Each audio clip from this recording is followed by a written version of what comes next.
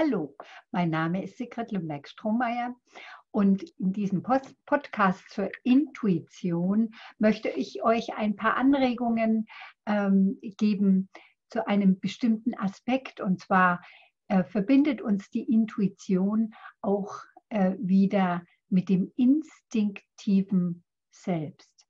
Das heißt, der ursprünglichen Wildheit, äh, die in uns allen vorhanden ist und angelegt ist.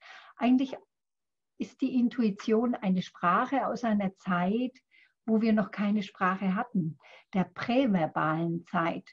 Eine Zeit, die wir als Kind erlebt haben, sehr früh, in der wir noch nicht sehr viel über Worte verfügten. Und ich habe euch ein Zitat mitgebracht von äh, Clarissa äh, Pincola Este, das sehr gut beschreibt, worum es mir heute geht. Nicht nur die wilden Tiere, auch die wilden Frauen dieser Erde sind vom Aussterben bedroht.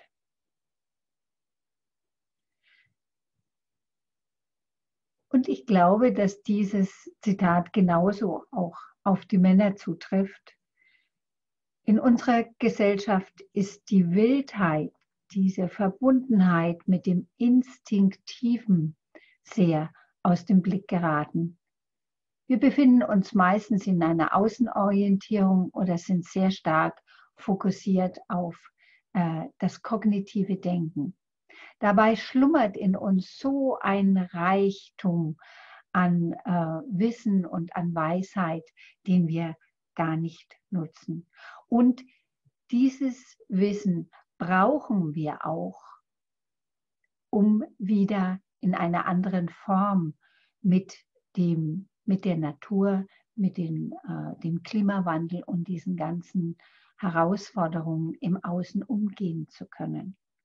Wir brauchen auch die innere Veränderung, die Wiederanbindung an äh, unsere Naturverbundenheit, an unsere ganzheitliche Verbundenheit mit allem, was uns umgibt. Das heißt, die Situation in der Welt heute drückt auch in gewisser Weise aus, wie es in uns aussieht.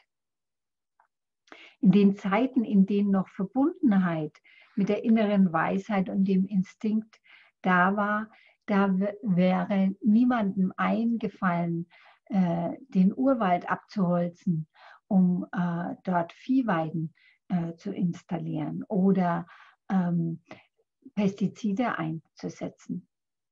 Und man hat die Natur geachtet und gewertschätzt. Und genau das braucht es auch heute wieder. In dieser Zeit, ähm, der Zeit, wo dieses instinktive Selbst noch sehr im Vordergrund war, haben sich die Menschen auch mehr als Teil einer Gruppe verstanden als Teil eines größeren Ganzen und nicht so sehr getrennt, wie das dann äh, in, den, in der egozentrischen Entwicklung passiert ist. Und in dieser Zeit sind auch die Weisheiten, die Botschaften weitergegeben worden über Geschichten. Diese Geschichten, diese Mythen, diese Legenden, diese Märchen ähm, beinhalten symbolische Wahrheiten. Und eins davon habe ich euch heute mitgebracht. Äh, Clarissa Pencola Este ist ja eine Geschichtensammlerin und hat sich bemüht, genau die alten ursprünglichen äh, Mythen auszugraben, die sich besonders mit dem Thema der weiblichen Urfrau, der wilden Frau befassen. Und dazu habe ich euch eine Geschichte mitgebracht von ihr, die heißt La Loba, die Wolfsfrau. Es gibt eine alte Frau, die an einem verborgenen Ort lebt, den alle kennen, der aber nur wenigen Menschen zugänglich ist. Die Alte sieht wüst aus und wird, wird oft als über und überbehaart und ziemlich fettleibig beschrieben. Aber wer weiß, sie meidet meist die Gesellschaft der Menschen und entzieht sich ihren Blicken. Es heißt, dass sie in einer Berghöhle zwischen den Steilhängen des Tarahumara-Indianerreservats haust. Andere behaupten, sie am Rande des Highway bei El Paso gesehen zu haben.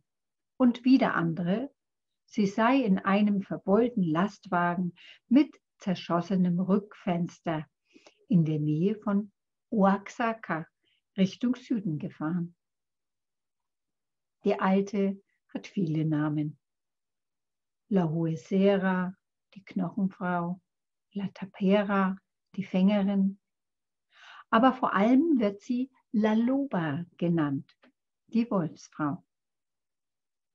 Sie kriecht tief gebückt über die Ariojos, die ausgetrockneten Flussbetten, und klettert über die Bergkämme. Dabei sucht sie unter jedem Strauch und Stein nach Bärenknochen, Krähenleichen, Schlangenhäuten, aber ganz speziell sucht sie nach den Gebeinen toter Wölfe. Denn den Wölfen gilt ihre tiefste Liebe. Und wenn sie ein vollständiges Skelett zusammengetragen hat, wenn auch der letzte Rückenwirbel sich am rechten Platz befindet und das Wolfsgerippe schön säuberlich geordnet vor ihr im harten Wüstensand liegt, dann faltet sie ihre, dann lässt sie ihre faltigen Hände darüber schweben und singt. Mit erhobenen Armen steht sie über dem Wolfsgebein und lässt den Gesang ertönen, der ihr für diese Kreatur, ganz allein für diese eine eingegeben wird. Und dann dauert es nicht mehr lange, bis sie eine Spur von Fleisch über den Knochen sieht, bis eine Spur von Haut und Fell das Fleisch überzieht. La Loba singt und die Kreatur unter ihr nimmt zusehends Gestalt an. Jetzt beginnt der Schwanz zu zucken und nun wird er buschig und peitscht den Sand schon vor Ungeduld. La Loba singt weiter, inbrünstig weiter, bis der Wolf zu atmen beginnt. Lauter und tiefer wird ihr Gesang, so tief, dass die Bergwände zittern. Und während sie noch so herrlich singt, öffnet der Wolf seine gelben Augen, springt auf und rast durch den Canyon davon. Auf und davon. Nur wer Augen hat, die das Geschöpf bis zum fernen Horizont verfolgen können, sieht, dass er sich von einem Moment zum anderen wieder verwandelt und die Gestalt einer Frau annimmt. Einer Frau, die sich laut auflachend schüttelt und hinter dem Horizont verschwindet. Deshalb sagt man, dass du Glück haben kannst, wenn du allein in der Wüste herumläufst und dir ein wenig verloren vorkommst und womöglich schon todmüde bist. Denn wer weiß, vielleicht findet die alte Loberfrau Gefallen an dir und zeigt dir etwas vom Leben der Seele.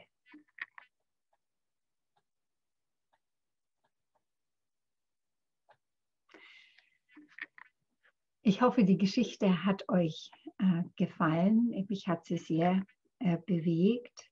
Die Knochen stehen ja symbolisch für die Teile der Seele. Und die Seele wird hier wieder zusammengesetzt und zu einem neuen oder ein Teil der Seele wird hier wieder zusammengesetzt und zu neuem Leben erweckt. Und die Frage an dich ist vielleicht, was spricht dich da besonders an, an, an dieser Geschichte? Gibt es auch etwas, was du in dir wieder beleben möchtest, was deine Psyche stärken würde? Stell dir vor, die Laloba existiert in jeder einzelnen Frau. Sie bewohnt deine Psyche und wacht über das Instinktive, das Ungezähmte in dir. Und du kannst dafür sorgen, dass es dir mehr und mehr bewusst wird. Vielleicht magst du dir diese Geschichte ab und zu einmal anhören und dich einfach mit dem Thema deiner Wildheit, deiner Lebendigkeit, deiner Lebenskraft auseinandersetzen.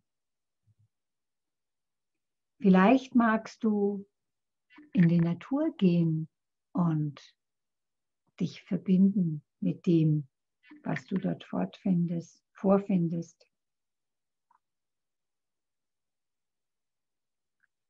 Und vielleicht magst du diesen Prozess auch vertiefen, indem du in unserer Online-Coaching-Ausbildung im Januar zum Thema Intuition dabei bist, wo wir das in Aufstellungen, in Archetypenaufstellungen und äh, kinesiologischen Balancen noch vertiefen werden.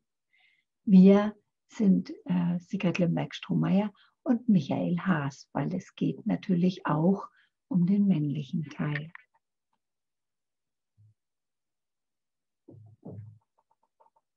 Ich wünsche dir ganz viel Freude bei dem Entdecken deiner Intuition.